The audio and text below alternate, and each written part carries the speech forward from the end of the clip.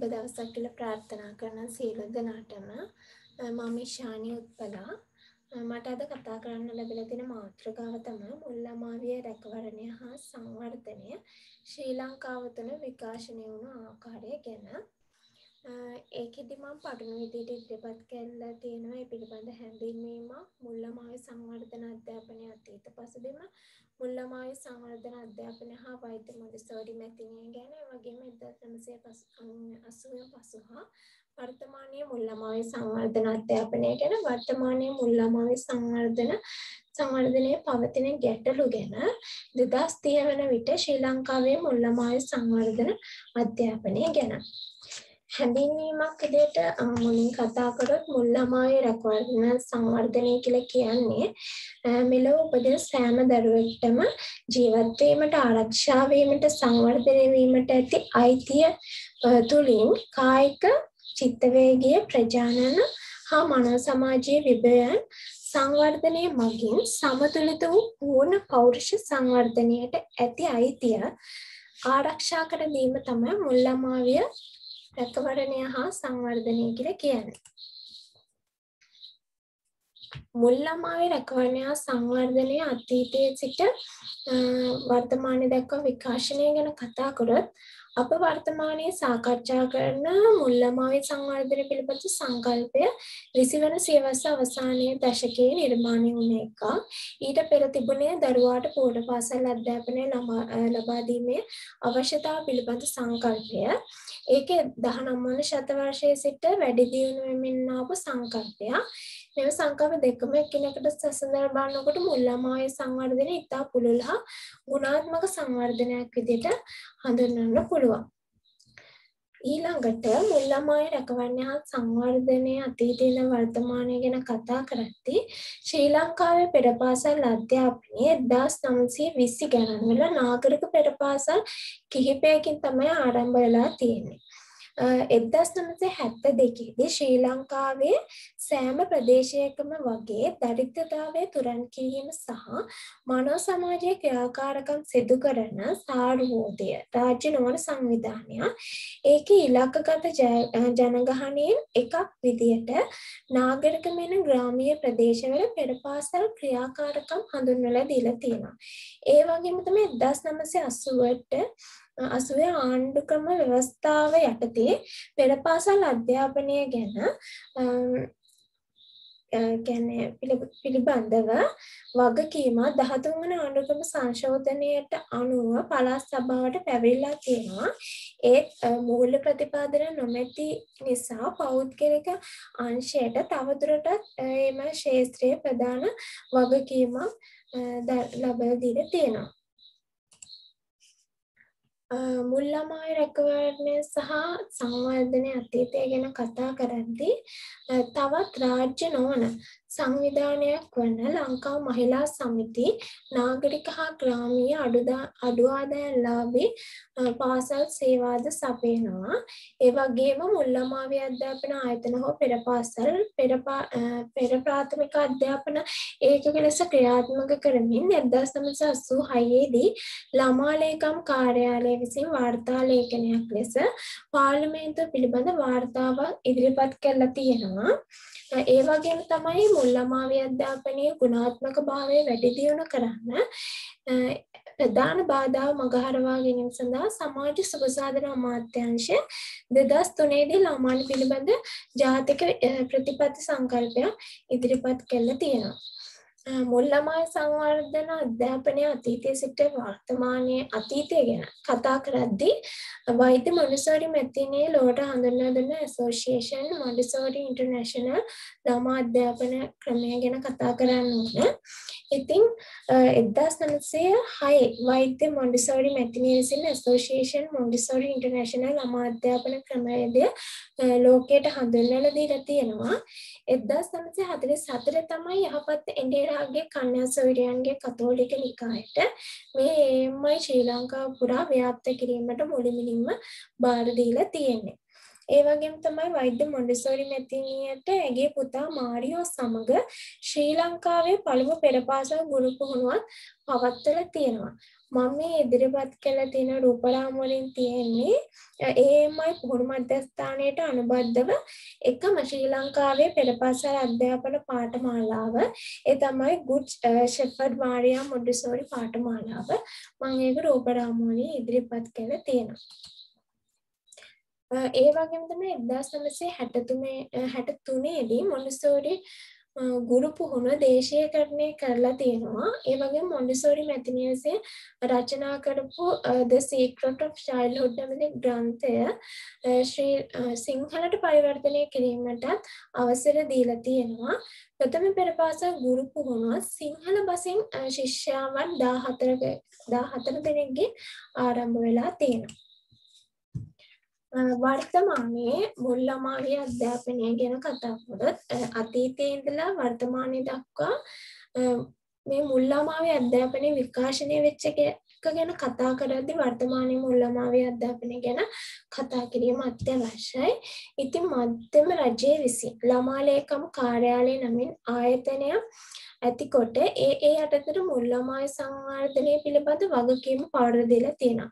තවදුරටත් ක්‍රියාත්මක කරමින් ළමා සංවර්ධන මෙන් අමාත්‍යංශයක් ආරම්භ කළා ළමා ලේකම් කාර්යාලය ඒ යටතට පත් කළා තියෙනවා. ඒ වගේම තමයි 2019 දී ජාතික ළමා ආරක්ෂක අධිකාරිය විසින් ශ්‍රී ලංකාවේ ළමා ද්විවාසරක මධ්‍යස්ථාන සඳහා වන ජාතික මාර්ගෝපදේශන සංග්‍රහය එළි දක්වලා තියෙනවා.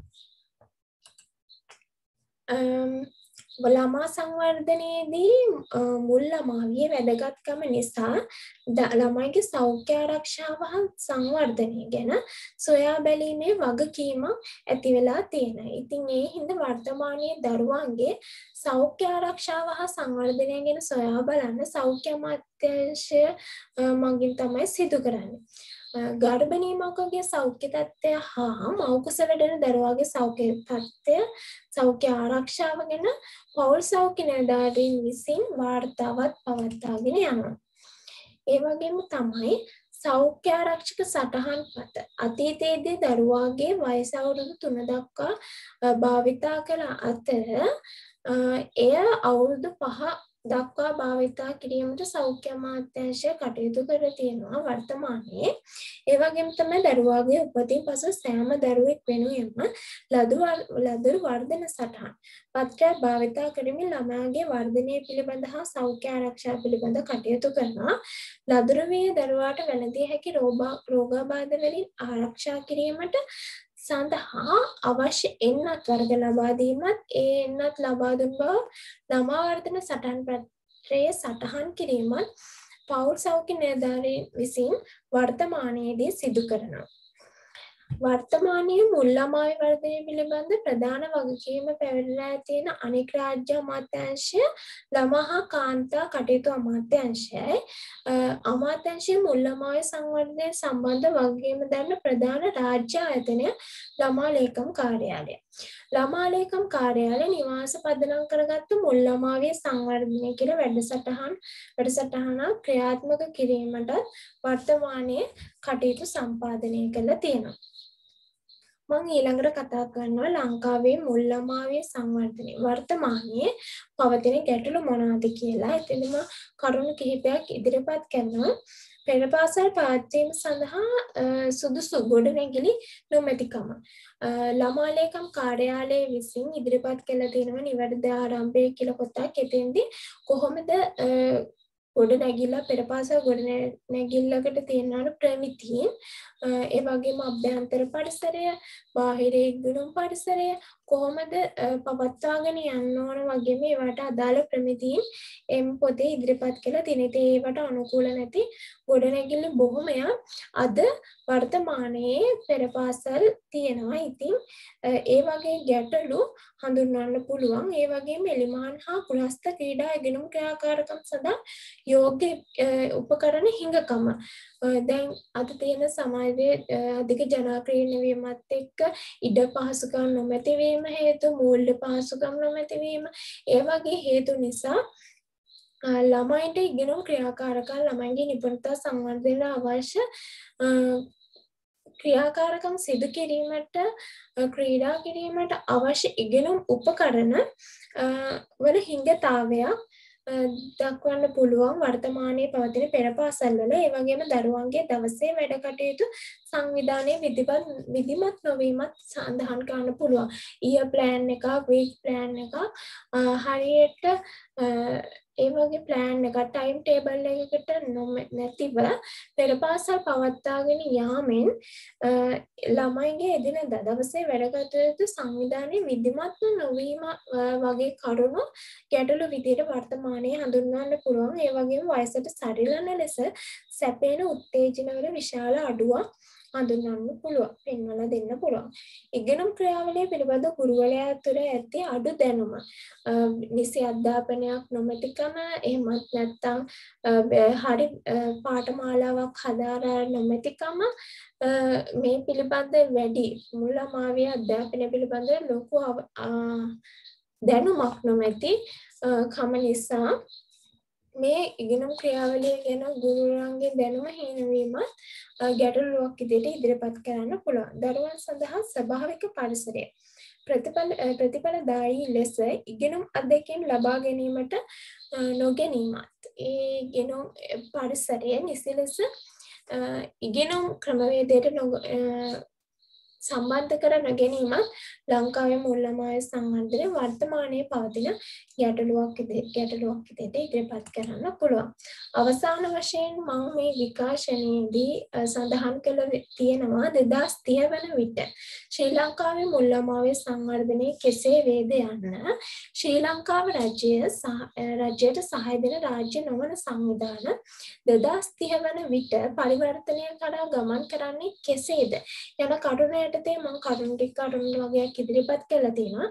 2016 වසරේ මුල් භාගයේ සිට ලෝක බැංකුව යුනිසෙෆ් හා අනෙකුත් ජාත්‍යන්තර රාජ්‍ය නොවන සංවිධාන ගුරු පුහුණුව පහසුකම් වැඩි දියුණු කිරීම ළමා සංවර්ධනය සඳහා ඇගයීම් සැලසුම් කිරීම පොදු ලියාපදිංචියක් ඇති කිරීම මගින් මුල් ළමාගේ සංවර්ධන ව්‍යාපෘතියට අරමුදල් සැපීම හා ක්‍රියාකාරකම් කිරීම වගේ ටාගට් ටාගට් එකට සාක්ෂාත් කර ගැනීම සඳහා සැලකිය යුතු සහයෝගයක් ලබා දෙනවා. ඉතින් මුල් ළමාගේ සංවර්ධන මධ්‍යස්ථාන සඳහා රාමුව සහ ECCE සේවා සඳහා කළමනාකරන තොරතුරු පද්ධතිය හඳුන්වනවා.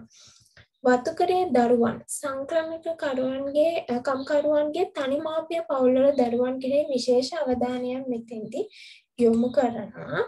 ඒ වගේම ශ්‍රී ලංකාවේ ශ්‍රී ලංකා රජය තුළ මුල් ළමාවිය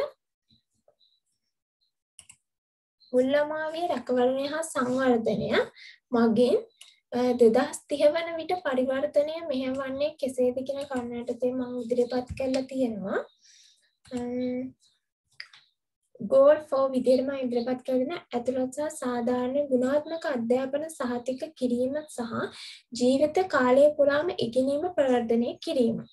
ටාගට් 4.2 විදිහට මම ඉදිරිපත් කරලා තියෙනවා 2030 වන විට සියලුම ගැහැණු ළමයින් හා පිරිමි ළමයින්ට ගුණාත්මක මුල් ළමාවිය සංවර්ධනය රැකවරණය සහ පූර්ව ප්‍රාථමික අධ්‍යාපනය සඳහා ප්‍රවේශය ඇති බවට සහතික වන අතර එමගින් ඔවුන් ප්‍රාථමික අධ්‍යාපන සඳහා සූදානම් වේ. ඒක තමයි අරමුණ විදියට ඉදිරිපත් කරලා තියෙන්නේ. මම අවසාන වශයෙන් ඉදිරිපත් කරලා තියෙනවා. මම මේ ප්‍රසන්ටේෂන් එක කරන්න යොදාගත්ත මූල ආශ්‍ර වගේම වෙබ්සයිට් මගේ ප්‍රසන්ටේෂන් එක මම මෙතනින් අවසන් කරනවා. ස්තුතියි.